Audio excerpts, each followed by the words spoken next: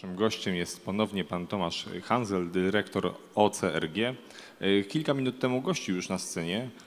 Scharakteryzował wówczas e, nasz opolski biznes, w jakich obszarach biznesowych Opolszczyzna rozwija się najbardziej, ale mam pytanie, panie dyrektorze, uzupełniające. Proszę powiedzieć, jaki wpływ na tą sytuację obecną naszą miały środki zewnętrzne, w szczególności środki unijne? Czy bez nich bylibyśmy w stanie osiągnąć tyle w takim czasie? I pytanie, w jakim czasie co osiągnęliśmy?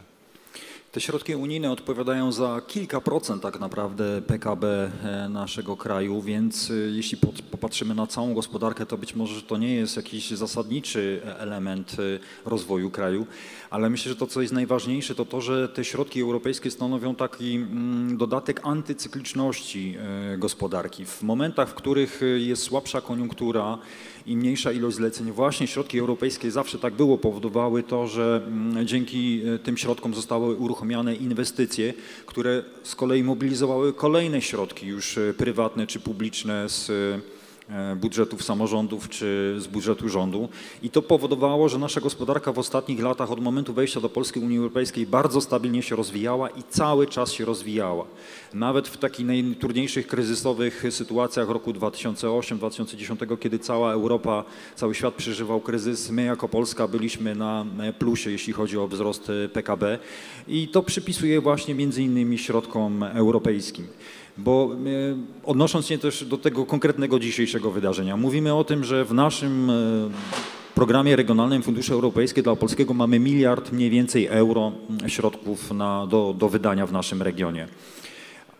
I tak naprawdę cały ten miliard praktycznie jest przeznaczony dla naszych opolskich przedsiębiorców, e, w dużej mierze związany z sektorem budownictwa, bo niezależnie od tego, czy mówimy o wsparciu samorządów lokalnych, e, czy wsparciu szkolnictwa zawodowego, mm, czy rozbudowie dróg, to tak naprawdę mówimy właśnie o budownictwie, no bo ktoś te obiekty musi budować, ktoś te drogi, mosty musi budować.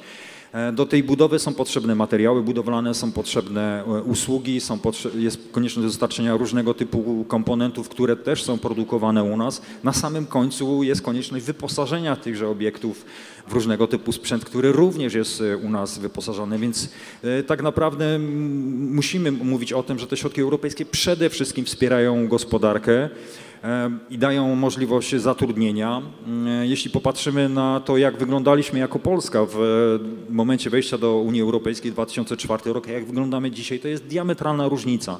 Nie tylko pod kątem wyglądu naszej przestrzeni, ale też wskaźników właśnie takich makroekonomicznych. Mieliśmy około 50% średniej PKB, dziś mamy 75%. Stopa bezrobocia w tamtych czasach była ponad 20%, dzisiaj mamy 5%. No to wszystko jest kwestia tego, że nauczyliśmy się wykorzystywać te środki europejskie, ale nie tylko tylko je wykorzystywać, ale przy tej okazji mobilizować dodatkowe środki właśnie z budżetów samorządów czy z budżetu państwa. A jaka jest Państwa w tym rola? Czym Wy jako OCRG zajmujecie się obecnie albo jakie macie plany na najbliższą przyszłość? Tak, my mamy tak naprawdę kilka rodzajów działalności. Jeden to jest związany z obsługą środków europejskich i w tym zakresie działamy już od 2007 roku i co cyklicznie co jakiś czas ogłaszamy kolejne nabory wniosków skierowane no przede wszystkim dla przedsiębiorców. Ogłosiliśmy w ramach już bieżącej perspektywy dwa nabory wniosków na innowacje, na wypracowanie nowych produktów, usług. Już za chwilkę, e, w, jeszcze w końcówce października ogłosimy nabór związany z wdrażaniem innowacji, czyli z możliwością pozyskania środków przez firmy na to, aby swoje nowe produkty, nowe usługi, czy zakupione patenty, licencje wdrażać, a więc zakupić niezbędny sprzęt do tego, aby no właśnie produkować, wytwarzać e, nowe rzeczy dla siebie. Będziemy ogłaszać kolejne nabory wniosków związane z podnoszeniem kwalifikacji. To jest coś, co w ostatnim czasie stało się takim bardzo popularnym e, elementem. Wszyscy mieszkańcy, może nie wszyscy, ale bardzo duża liczba mieszkańców naszego województwa już o tym e, programie wie, e, zgłasza się do nas i co chwilę, codziennie mamy zapytania o to, kiedy będzie następny nabór związany z podnoszeniem kwalifikacji. Na pewno te kolejne nabory są przed nami, one będą prawdopodobnie w końcówce roku.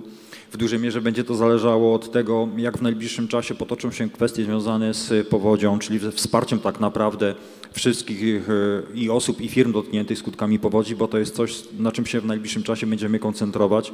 I wyasygnowaliśmy już specjalną pulę środków właśnie na wsparcie przedsiębiorczości wszystkich tych przedsiębiorców, którzy zostali dotknięci skutkami powodzi. Pracujemy w tym zakresie z Ministerstwem i z Komisją Europejską. Jak tylko te zasady będą poznane, to będziemy chcieli w bardzo krótkim okresie czasu i bardzo sprawnie przeprowadzić nabory wniosków właśnie na tej specyficznej grupy przedsiębiorców, którzy zostali dotknięci skutkami powodzi. Jak sądzę, po więcej informacji można zgłosić się do Państwa albo do Państwa siedziby, albo korzystając z Państwa obecności tutaj na targach, na Waszym stoisku. Tak, serdecznie zapraszam. Mamy punkt informacyjny na ulicy Krakowskiej. Tam wszelkie informacje o możliwościach pozyskania środków, ale również o wsparciu takich przedsiębiorców, którzy myślą o tym, aby się rozwijać i potrzebują czy to terenów inwestycyjnych, y, czy pracowników. I tak jak Pan powiedział, no, tutaj na hali jest nasze stoisko informacyjne i te wszystkie informacje o tych najbliższych naborach również są tutaj dostępne. Dziękuję serdecznie. Dziękuję bardzo.